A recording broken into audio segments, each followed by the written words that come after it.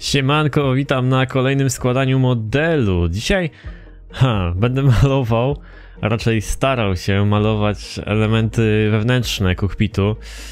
Ech. Jest z tym pewien problem, bo niestety farba nie nakłada się tak, jakbym tego chciał. Jest bardzo trudno równomiernie ją nałożyć, szczególnie kolor czerwony.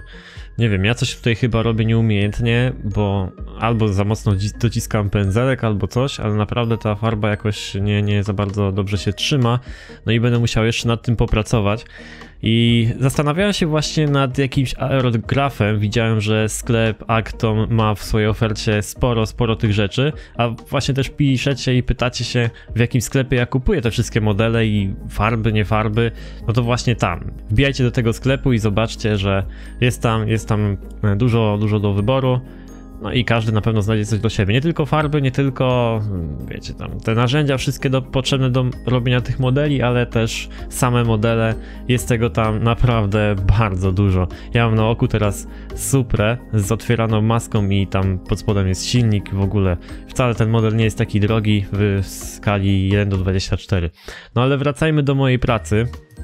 Praca wygląda tak, że coś nie tak nakładam tą farbę. Nie wiem, pędzelkiem Myślę właśnie nad tym nakładaniu aerografem jakoś i będzie trzeba jeszcze nad tym popracować odrobinę.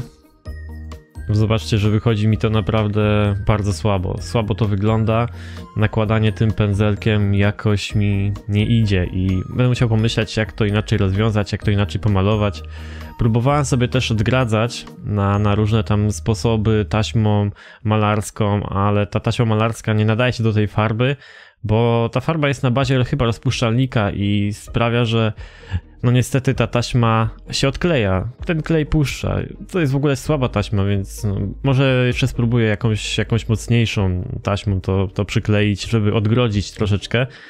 No zobaczymy, coś pokombinuję. Chcę to zrobić najlepiej jak umiem i w ogóle najlepiej i najładniej, no bo to nie jest dla mnie. Gdyby to było dla mnie, to bym się może tak bardzo nie starał, ale to jest dla kogoś, tak? To ma być coś w rodzaju prezentu. No i niestety skutek tego wszystkiego jest taki, że będę musiał wnętrze pomalować jeszcze raz na kolor czarny, zamalować te takie brzydkie miejsca, które się porozpuszczało od tej zewnętrznej farby.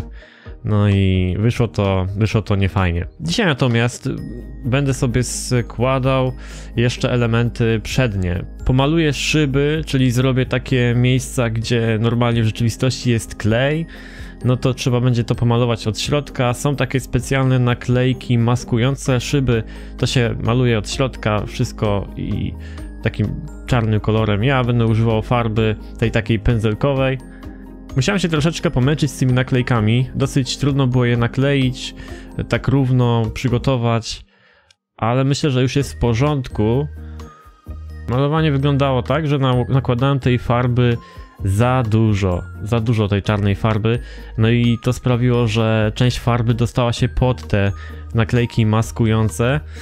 No i skutek jest taki, że część szyby jest pomalowana też na czarno. Będę musiał to jakoś później, um, no, później będę musiał to jakoś naprawić, żeby to wyglądało ładnie. No widzicie, składanie modelu to nie jest taka łatwa sprawa, zwłaszcza malowanie i akcentowanie tych elementów e, kurczę, jest to, jest to jednak złożona rzecz, a też postępując według instrukcji dokładnie, no niekiedy nie zrobi się tego dobrze, bo zaraz zobaczycie, że będę kleił mm, tylne światła i w instrukcji jest napisane, aby nie malować ich, ale później nie ma jak tego poakcentować ładnie.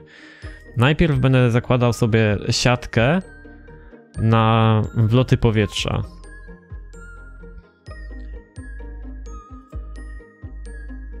Tutaj użyłem standardowo kleju Tamiya Extra, extra Cement. No i on rozpuszczał część karoserii. Ta siatka się wtapiała ładnie w elementy karoserii i naprawdę bardzo mocno się to trzyma, także tutaj nie potrzeba innego kleju. Ładnie to wygląda z zewnątrz i to jest najważniejsze to i tak będzie zakryte, wiecie, tego nie będzie widać. Ja to później jeszcze ładnie podokańczam, tak żeby nie było nic widoczne na 100%. No nie, nawet jak ktoś sobie obudowę ściągnie, żeby to było ładne ze środka.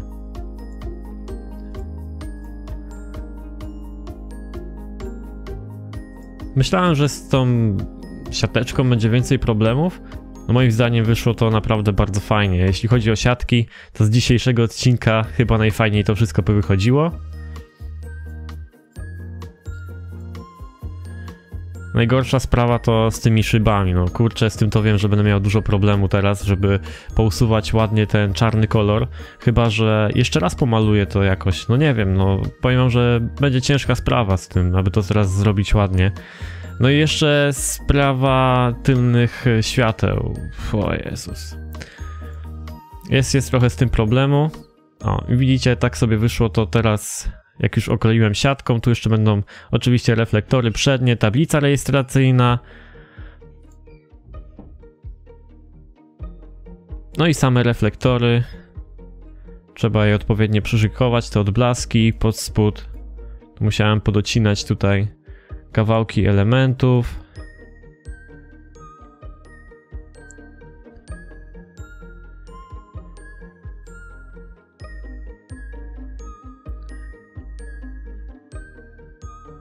I przyklejanie to oczywiście nie jest problem, wystarczy tego dopasować. Jak się odpowiednio doszlifowało miejsce, gdzie się, no, gdzie to wszystko było przyczepione na jednej, na jednej, na jednej planszy, no to na pewno będzie pasować. Naprawdę ten model Tamiya jest świetny pod tym względem. Zobaczcie jak to wygląda bez jeszcze szkiełka. Później będzie takie szkiełko, nie szkiełko, to jest i tak plastik, ale jest przeźroczyste i wygląda jak szkiełko, to jest taka imitacja. Teraz będę przyklejał dodatkowo szkiełko. No i muszę przyznać, że po nałożeniu tych szkiełek model powoli nabiera kształtu i zaczyna ładnie wyglądać. Trzeba tylko uważać, żeby jak się klei te szkiełka, żeby nie dawać za dużo kleju, bo ten klej może pościekać i roztopić nam a, farbę, która jest już na modelu zewnętrznym. Na to trzeba bardzo uważać.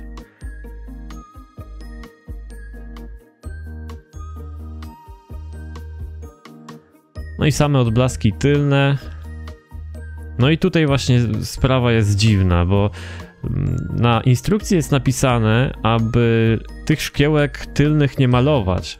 Ale ja je pomalowałem na czerwono w miejscu, gdzie mają być czerwone.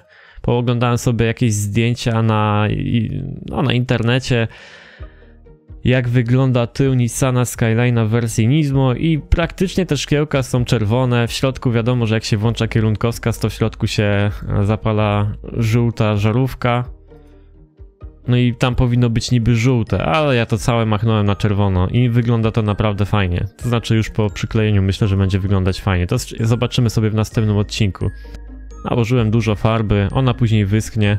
Będzie taka troszeczkę blada, jak widzicie na tym kartoniku obok, pod moją ręką.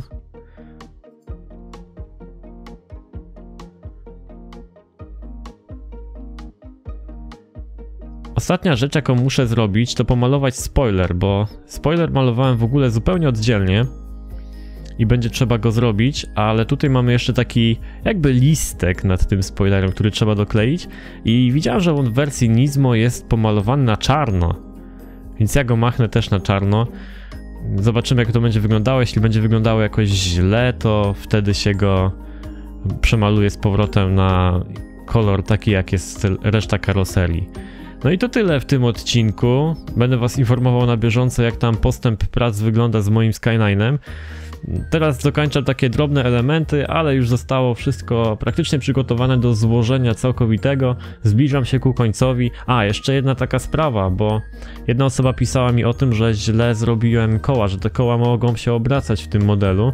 Ja o tym wiem, ja zapomniałem wam tylko o tym powiedzieć wcześniej. Rzeczywiście da się zrobić tak, aby ten model miał obrotowe koła, czyli że teoretycznie powinien jeździć, że mógłby jeździć do przodu i do tyłu ale ja sklei, skleiłem te tulejki w środku, których nie powinno się kleić. Jeśli macie swój model Skyline'a, to nie klejcie tych tulejek, tylko włóżcie je ciasno e, no, w te hamulce i, i, i, tyle, nie? Tak, żeby nie kleić jeszcze dodatkowo a, ich, bo one mają się obracać. To są takie jakby łożyska. Pamiętajcie o tym, aby tego nie robić.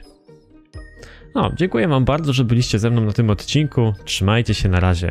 Pa, pa.